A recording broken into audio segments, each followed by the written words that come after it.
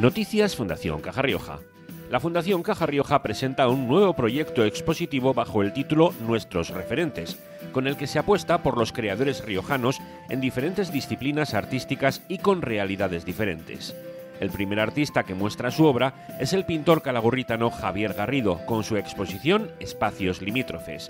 El paisaje es la base de sus cuadros, trasladando su vida cotidiana a la pintura. Estará abierta en el Centro Fundación Caja Rioja Gran Vía hasta el 21 de octubre.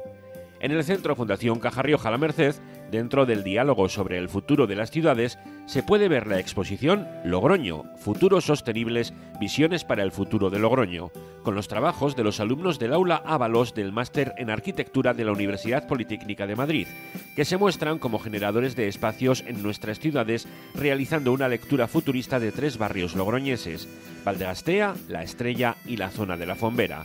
También con la visión de quienes los habitarán, con la colaboración de los alumnos de imagen y sonido de IES Batalla de Clavijo.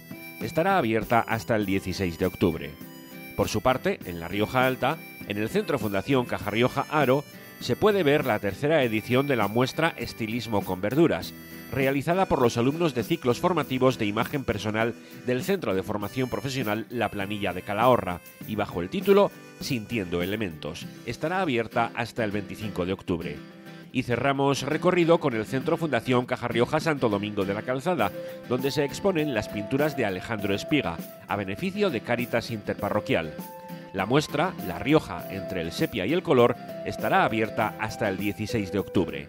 Y os recordamos que todas nuestras exposiciones se pueden visitar de lunes a sábado de 18 a 21 horas.